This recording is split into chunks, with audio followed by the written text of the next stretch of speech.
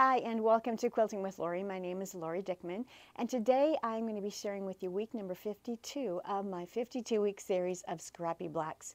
Each and every week for the last 52 weeks, I have been sharing with you how to pull scraps from your stash to make a beautiful block in which you can make beautiful quilts.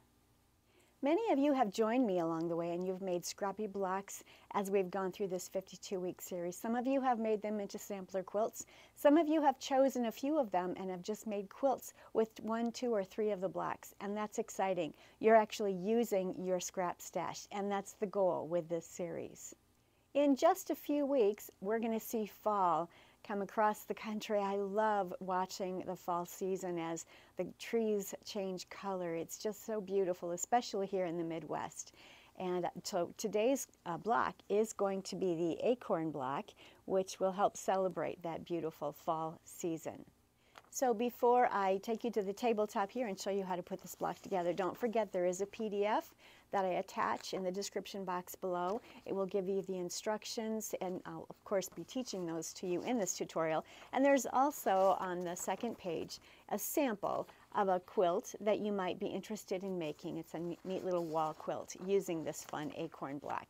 So let's get started and see how this block goes together.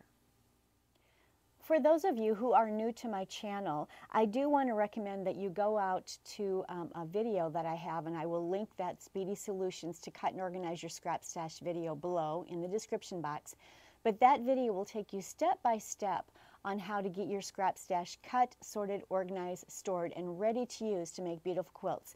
This is the techniques book that goes along with that video, and this is an additional patterns book with beautiful scrappy patterns in there so that you can use these patterns and use up your scrap stash. So take a look at that. I'll also have the link to my website for this book set if you're interested in just checking that out. Now let's take a look at the block. Don't forget, as I mentioned, to pull that PDF. And basically, all of these 52-week um, series blocks have been 12 and a half inches unfinished. They will finish in the quilt at 12 inches.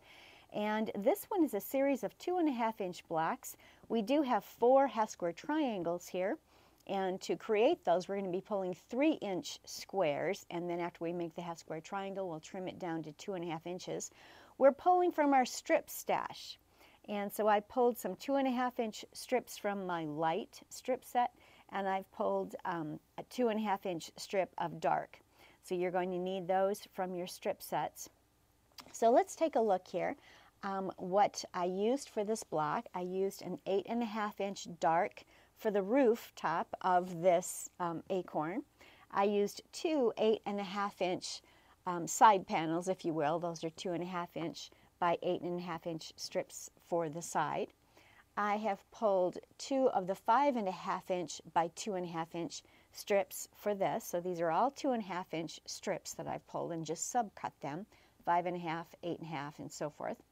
And then um, I have a two and a half inch top, and I just wanted him to match the top of the roof there. So I have that uh, for this particular uh, square. Then these are my three inch squares. I have two lights and two darks and I'm going to put these together as I've shown you many times using my Speedy Solution Scrap Stash. Right sides together, dark with the light or whatever color combinations your pattern calls for. We'll draw a diagonal line, we'll sew a scant quarter inch on both sides of the line, cut on that, um, press it and square it up to two and a half inches and we'll end up with a total of four half square triangle units for this block. And so that's what we need. Um, we also need a total of 14 two and a half inch mediums and darks to make up your acorn. You've seen me put together half square triangle units um, many, many times on most all of these 52 week series of scrappy blocks. But what I simply did was place a three inch light and a three inch dark in case, in this case, that's the size we needed, right sides together. I drew a line on one diagonal, corner to corner, and then I simply took it to my sewing machine and I sewed a scant quarter of an inch on both sides of that drawn line. It's kind of hard to see it. You can see it a little bit better on this one. And now I can simply cut on that and cut them apart. Before I do that, as I've shared with you before, I like to cut from sewing or stitching line to stitching line as I separate them, that just gets rid of some dog ears. And so that's what I that's how I like to separate my half square triangle units when I've done them chain stitch like that. So I've gotten rid of some dog ears. Now I can simply take my ruler and my rotary cutter and cut them apart. Whoops. Sometimes when I'm seated doing this, I'm not pressing hard enough. There we go. For squaring up each of these half square triangles, and they each need to be squared up to two and a half inches, I am going to use my clearly perfect slotted trimmer, the uh, trimmer A, and I'm going to use the two and a half inch stitching line here. I'm going to match it up with that stitching line on the triangle and I will cut around and get rid of the excess. If you don't have a clearly perfect slotted trimmer or any other fancy type of a trimmer, you can certainly just use an OmniGrid or any ruler that has a 45 degree angle in it. If you do have one of these, then you would simply uh, press this open and I will probably just press toward the dark. And then I, once it's pressed, then you will take your ruler, line it up on the 45 degree angle, and then make sure that everything is squared up here at 12, two and a half inches and trim away the excess there. So that's how you could trim it if you're using a square ruler. You would have to press them open first. Because I'm using this triangular shaped, clearly perfect slotted trimmer, I do not have to um, press them open. I'll leave them just as they are right now. I'm lining up the two and a half inch stitching line on the ruler to the stitching line on the triangle trimming away the excess. There's not a whole lot. As you can see, that was all that I needed to trim away from the rest of that. But that's very important. That has to come away or you're not going to get your uh, block to go together well. And the Clearly Perfect slotted trimmer has these really nice little slots right there which cut away that extra dog ear. And now I can take these to my iron and press them. They're now all squared up to four, uh, excuse me, two and a half inches, and I've got all four of them finished here. I'm going to go press those, and I'll be right back. All right, so I've finished my half square triangles, and now what I have done is laid out the block um, so that it's ready to be sewn together. And I see I've, I'm sorry, I've actually laid it out so that it's facing me and, and it's upside down for you. I apologize on that. But um, we're going to first of all start with the top of the um, acorn. Here's his little stem, and these are the two five and a half inch strips. They're going to be sewn on each side of that little two and a half inch square. That makes the stem. Then on this row, we're going to take the eight and a half inch strip. We're going to sew these uh, light, dark half square triangle units there, and that finishes the little roof top to that acorn. Make sure that you orient these um, half square triangles properly so that it creates that uh, slant there for the roof. Then we'll work on the acorn itself. And there are four rows um, wide and four rows down. And notice that I have the two little half square triangles down here and they finish off the bottom of the acorn. So make sure that you orient those correctly as well. And once these are sewn together, then we'll sew these five and or eight and a half inch strips to each side and then we can sew these units together. So I'm going to go ahead and get that sewn. I'm going to start first with these two top rows and I'll bring it back to the tabletop and show that to you when I'm finished. I've turned this around for you so that it's now facing you and the acorn is not sitting on its top as you're looking at it. These are the top two rows that I put together. Um, that included the five and a half inch light strips with the two and a half inch square for his stem. And then these are the two half two, um, two and a half inch uh, half square triangle units sewn to each side of the eight and a half inch strip. So that's the top two rows. Now we're going to finish the bottom four rows and we'll do that um, just by starting with the squares themselves and these strips will be sewn to that once the squares are complete. So what I like to do is simply web my um, block. You've seen me do this many, many times. I'm going to start in my case, uh, this is the top left. In your case, it would be up here. but I'm going to take um, the second row, place it on top the first, bring it up to the sewing machine, stitch, um, bring this one up to the sewing machine, continue stitching, bring this up to the sewing machine, continue stitching, and bring this up to the sewing machine and continue stitching. I will have webbed the first two rows together.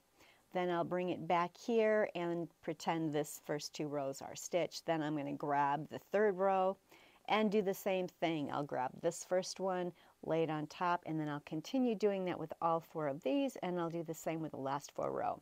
They'll all be webbed together with one line of stitching. Then I can simply sew the rows together. It's just a very efficient way of webbing your blocks together so that things stay in the right orientation and you you're less likely to get things messed up. So I'm going to go ahead and get that sewn. I'll bring it back to the tabletop.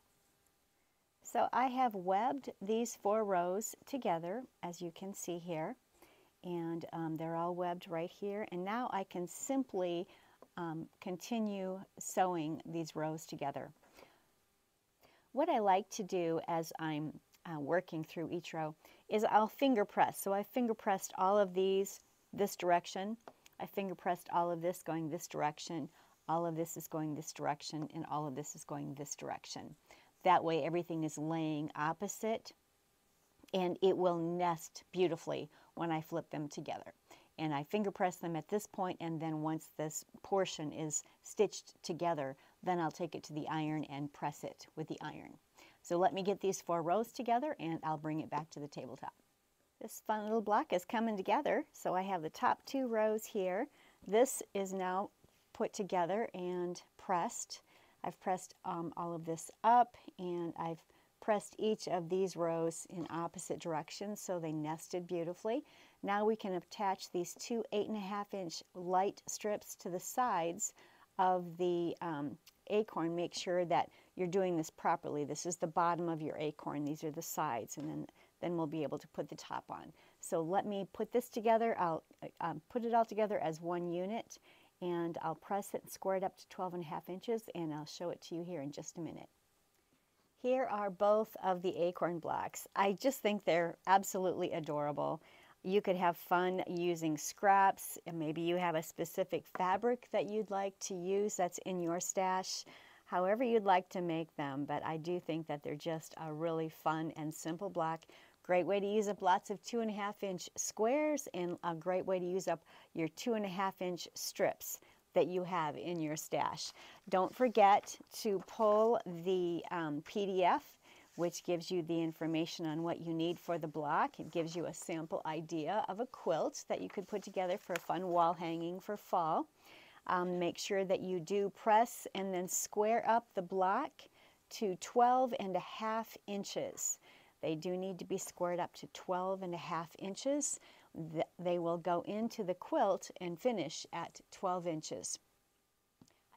Thank you so much for participating in my 52-week series of Scrappy Blocks. It has been a fun year of presenting a new block to you each week. I hope that you'll all present uh, blocks that you've created even quilts that you've created out on my Facebook group page. It's Quilting with Lori, Scrap Up Your Stash.